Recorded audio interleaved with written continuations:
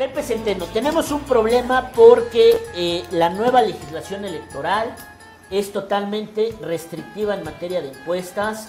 Eh, hay que mandar los estudios casi casi con dos meses de anticipación, lo cual desfasa el momento en el que se hace el estudio sea, a la presentación. La legislación electoral lo que está queriendo hacer es tutelar, según la autoridad, tutelar la información que recibe el público proveniente de las encuestas para que el público tenga mejor información, más veraz y desde luego que pueda tomar una decisión más informada a la hora de decidir quién vota. El problema es que en este afán de tutelar la calidad de la información, lo que están logrando es que no haya información.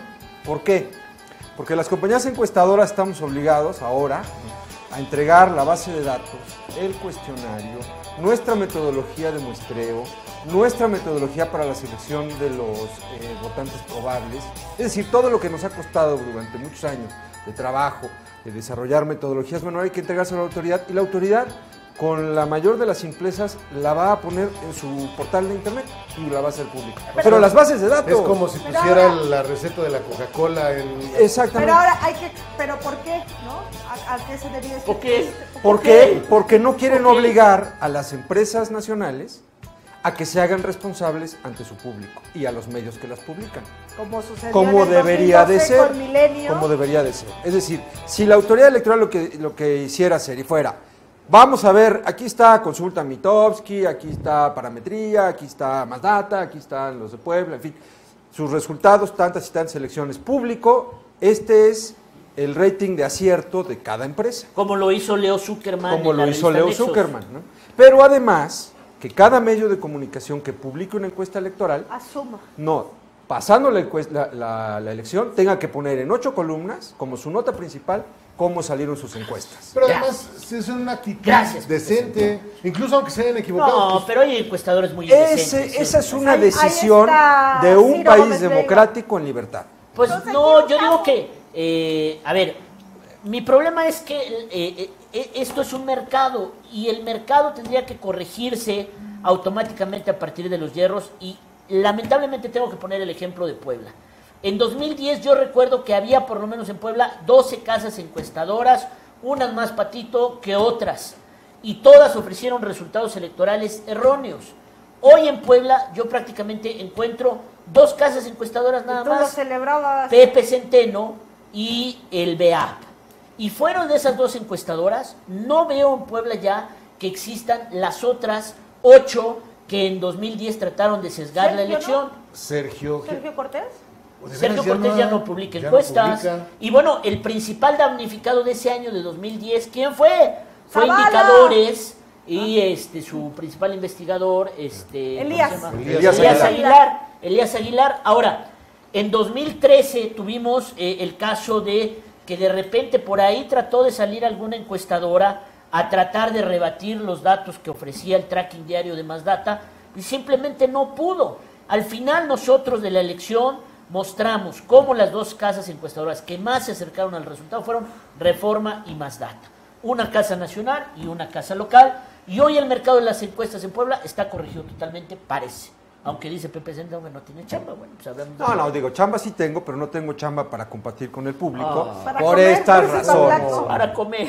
Eso digo, lo, lo que les quiero traer es, digo, vamos a empezar, a lo mejor el escenario cambia y haya manera de, de poder compartir algunos datos, pero por lo pronto, y para no poner en riesgo la privacidad de los estudios que me pagan mis clientes, porque digo, a título gratuito, si yo se lo doy al INE, lo sube al Internet, y entonces los adversarios, sin pagar, pues van a tener la encuesta, la base de datos. Eso es una brutalidad. No, no, no, es una salvajada, que sea después, al otro día, ¿no? de la elección, pero no antes.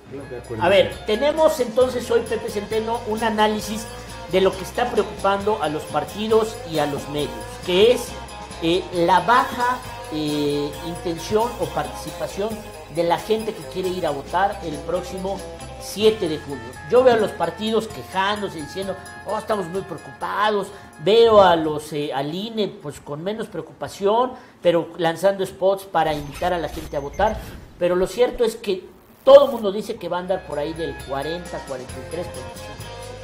A ver, vamos a ver cómo ha sido la, históricamente la votación en las elecciones federales. Si pudiéramos empezar con la presentación que les traje, porque ahí vamos a ver cómo Aquí está. en las elecciones intermedias, fíjense. Bueno, aquí está primero el número de diputados que cada partido obtuvo en cada elección, fíjense. A ver, a ver, ponemos esa gráfica, Regrésala, por favor. regrésala, está está. de este lado, a ver. Vamos a ver. En 91, que fue la elección intermedia de Carlos Salinas presidente, el PRI 320 diputados, el PAN 89. A ver, aquí, aquí la podemos ver en, en este. en- en- el peor año para el PRI es 104 diputados. En 2006. eh, en 2006, exactamente. El mejor año es en la prehistoria, en 1991, 320 diputados, ¿no?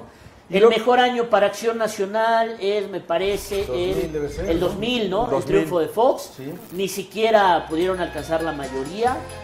Y los mejores años del PRD pues son 97, 2006 y 97. 2006 y 97, que fíjate. fue cuando Que aquí fue cuando ganó Cuauhtémoc, ¿no? En Así el. DF, En Sí, el fue, DF. fue la primera apertura que la tuvo Cedillo. jefatura de Y gobierno. fue ajá. cuando la elec- la- el Congreso, el PRD por fin, bueno, es más, respondió el informe Porfirio Muñoz Ledo por primera vez. Lo que es cierto es que entre estos tres partidos, eh, pues acaparan prácticamente el 80% de los curules ¿Más? del Congreso, Del, del Congreso Nacional. del. Congreso Federal, sí. Fíjense cómo el porcentaje de diputados tienen 90, 98, 97 y el nivel de participación eh, de votos que obtuvieron, ¿no? Sobre todo en las intermedias, es lo que... A ver, elección intermedia, 91, 66%, pero recordemos que en ese año todavía pues, votaban un poco hasta los muertos, ¿no? Todavía no se acababa de, de, eh, crear el IFE. y todo 97. eso. 97 ya es el año, digamos, en el que se inaugura la democracia, 57% de participación. 58. 2003, 58. 42% de participación en 2003.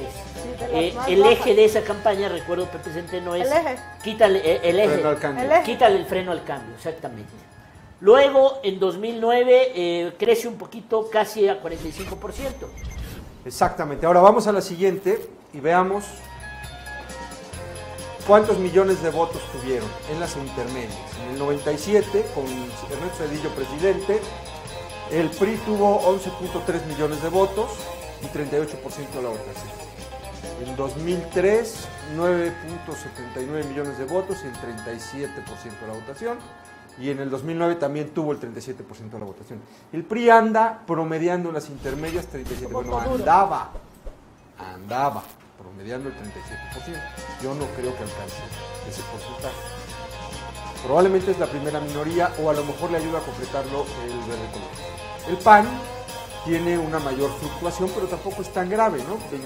26% en el 97, 31% en 2003 y 28% en 2009. O sea, Entonces, entre 25 y 30. Exacto. Que más o menos hoy es lo que marcan las encuestas, ¿no? Eh, 26, 27. Por ahí ¿no? las encuestas nacionales. Y el PRD, 7.3 en 97, 4.69 en 2003 y 4.21 en 2009. Por lo tanto, no nos debemos de extrañar que ande alrededor del 5. En esta elección No ya. va, no va a variar, con el no va a 5%. variar entonces. Sí, Es decir, es un efecto inercial. Pero hay nuevos, hay nuevos jugadores. A ver, está Morena, Está que Morena ya le disputa gran parte del mercado electoral a la izquierda al PRD. Ese es un factor importante. Dos, es la primera vez desde que se inaugura la democracia y la alternancia en que el PRI ya es gobierno federal, porque primero había sido el PAN. Entonces, esos dos, dos factores que cambian el sentido de la ecuación. Veamos la siguiente lámina. Votos por partidos y número de distritos ganados en, en Puebla. Puebla. A ver, entonces fíjense, esto ya es el estado de Puebla. En el 2000, to- siempre ganó para diputados federales, en todas las elecciones federales del 2000 a la fecha, excepto en 2006. Y en 2006, el PAN se alzó con la victoria en 12 distritos y el PRI la obtuvo en 4. Que fue el año de Lidia Cacho, no nos olvidemos. Exactamente, fue el año de Lidia Cacho. El año en que ganó Rafael Moreno Valle la senaduría y el año en que Calderón se robó la presidencia de López Obrador. Ese fue el año. Y el año Y el que 2009 Moreno Valle ganó la senaduría. Ya lo dije. Ah, perdón. Y el 2009 fue el año en que Javier López Zavala logró la candidatura. Claro, 16-0, mira. 16-0. Eh, cuando era el gran Don Zavala, el gran operador El gran operador y cuando nadie ponía en duda la capacidad política de Mario Marín, bueno, electoral, excepto nosotros, que sí dijimos, oigan, cuidado, porque una elección federal intermedia no tiene nada que ver con una elección de gobernador, aunque sea al año siguiente. La columna de hasta abajo, donde dice 2015, perdón Arturo, Sí, sí, sí, donde ven, acá, Acá. ¿no? fíjense, lo que está haciendo es un análisis estadístico muy simple de mínimos cuadrados y estamos asumiendo que va a haber un 35% de participación de la lista nominal. ¿Tan poquito? Eso es lo que asumimos que va a haber.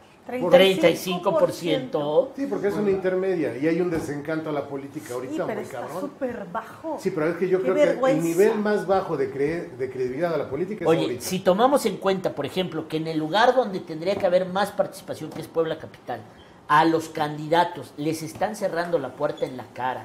Les- eh, cuando piden permiso para colgar pendones y cosas así, les dicen, lárguense, pinche ¡Lárguense, panistas! locos! ¿Qué están locos, ¿Qué panistas? están locos, panistas? Pero a todos. Bueno, También ejemplo. Era- Porque hay un gran desencanto con todo lo, las casas blancas, con todo eso. Yo creo que nunca había, se había sentido tanto rechazo a la política. Bueno, siempre, pero ahorita es un plus, ¿no? Fíjense, le pregunto a la gente por quién quiere votar Ajá. Y tenemos una tasa de respuesta que oscila entre el 25 y el 35%. ¿no? Y normalmente, por experiencia, sabemos que de los que nos responden, siempre 2 o 3% menos son los que terminan participando. Ok. Y el problema está en cómo, está, cómo estimas a tus votantes probables. En una elección con tan baja participación, tu muestra es muy chiquita para poderlos estimar. Si tienes una muestra de 1000 y te responden 250, pues tienes que trabajar sobre esos 250 y ver cómo se va a distribuir la preferencia. ¿no? Ese es el gran problema que tenemos para, para publicar datos este, con cierto margen de confianza. Sí, porque te equivocas en uno o dos puntos ¿no? y en la efectiva pelas. ¿no? Porque la diferencia, ese no me lo escribí en mi columna anterior, ojalá la pudieran leer, este, ahí, Diálogos en el Infierno. Entonces, la tendencia lineal dice que el PRI debería de tener alrededor de 583 mil votos, el PAN 487 mil y la izquierda 170 mil. Me voy a quedar con esto. Pero no tenemos el ingrediente en la estadística, no tenemos el ingrediente de Morena y no lo sabe calcular el modelito de mínimos cuadrados. Y no tenemos el ingrediente de que el, el PAN gobierna en el Estado y que el PRI ahora es gobierno en la Federación. Porque por experiencia siempre los electores tienden a castigar al gobierno federal en turno. Siempre terminan perdiendo O sea, no va, a haber, no va a haber voto de castigo para las rafa ocurrencias, la ruta. Sin embargo, hay una base de voto duro y en la medida en la que haya menor participación, el gran ganador es el PRI, Oye, una Por pregunta. la estructura. por la estructura. Una y pregunta. Por, y por el prismo atávico histórico. Pepe Centeno, una ¿Esto pregunta. solo en la ciudad? No, estoy hablando No, el del Estado. Ahora sí, dejemos Si que Arturo hablando del pregunte. Estoy 97. anotando, estoy anotando, perdón, A ver, perdón, es que estoy Pepe anotando. Centeno, una pregunta. Selene cree que está reporteando cuando en realidad está conduciendo un programa. No, no estoy Pero reporteando, eh, ¿por qué? una pregunta, Pepe Ojalá y dé una nota mañana en El, total. el voto duro de Acción Nacional está siendo afectado por la ausencia de candidatos tradicionales, eh, de acuerdo a lo que eran los candidatos tradicionales de Acción Nacional hasta hace quizás cuatro Hay años. evidencia estadística de que una parte del pan duro está de brazos caídos. Gracias, Cínico. Pepe Centeno, te vamos a tener todos los lunes. ¿verdad? Radio Vamos a. Algo de, algo de eso dijo César Camacho.